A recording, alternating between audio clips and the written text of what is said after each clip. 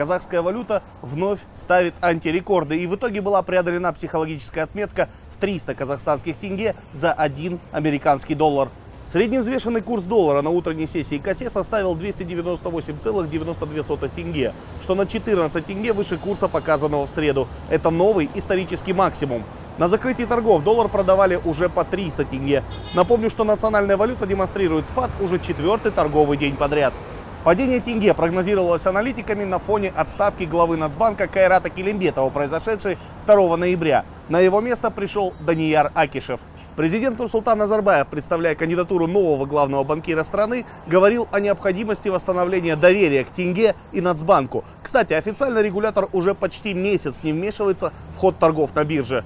Как отмечают работники обменных пунктов, особого ажиотажа в связи с ростом курса американской валюты пока не отмечено. В основном казахстанцы предпочитают продавать доллары небольшими суммами. При этом, по данным Нацбанка, за сентябрь казахстанцы купили в обменниках почти на 40% больше долларов, чем продали. 75% депозитов населения сегодня в иностранной валюте.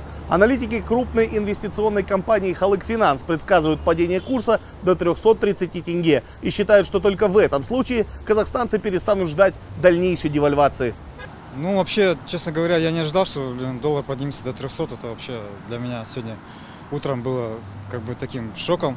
Да сейчас уже ничего не удивляешься. И просто констатируешь факт. Сегодня выше, завтра ниже. Вполне ожидаемо было.